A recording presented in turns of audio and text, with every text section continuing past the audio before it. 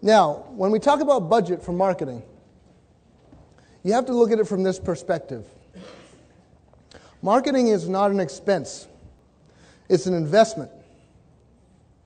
Okay? Your, your, the, the amount of money that you spend on your marketing should be about 10% of what your revenue is.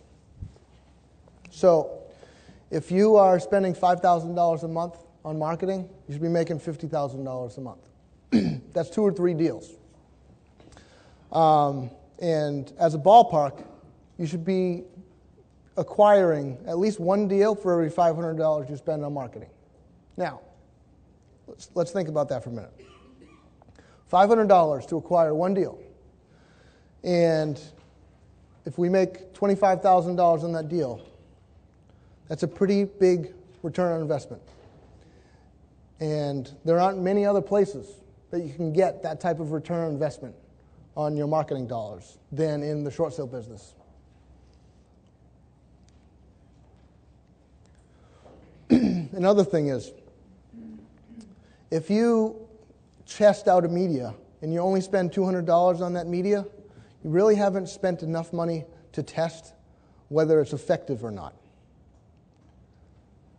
Like, for example, um, you know, if you spend $200 on a newspaper ad for a week and you don't get a deal, well, it's really not a long enough time to have the ad in the newspaper to test that. So, you know, you, you would probably need to extend that for the month and see how many deals you can get out of it. And marketing is a lot about testing.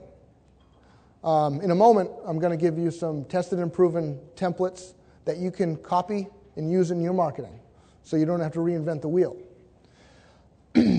but um, if you want to expand past that and do other things and get into other medias to generate more leads, testing is what you need to do in your marketing. All right. I'm going to talk to you about how to get all of your letters hand addressed for you. Because I know you don't want to do it. And I know if you ask your spouse to do it, you'll probably get divorced.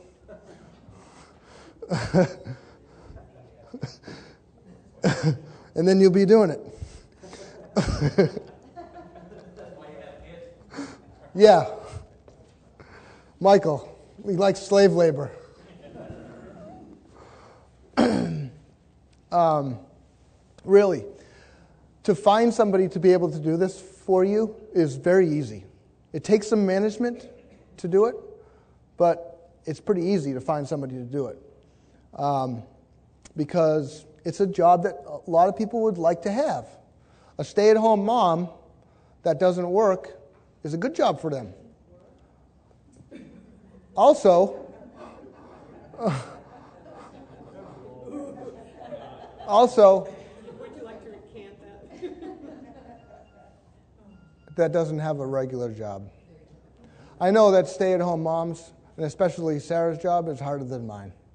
So that's not what I meant by that.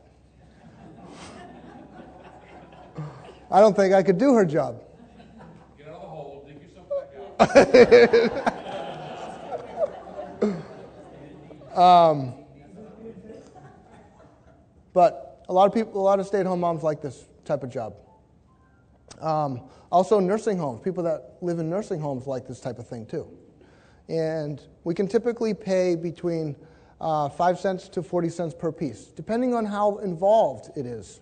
Because the, the letter that I send out is very involved. I mean, it takes a lot of time, it's a lot of handwriting to it. Um, and I'll show it to you. Um, so here is where, here's the ad that you can um, to run. And if you run in the paper for three days or seven days, you'll get dozens of applicants. Stuff seal and, dress envelopes from home. Great pay.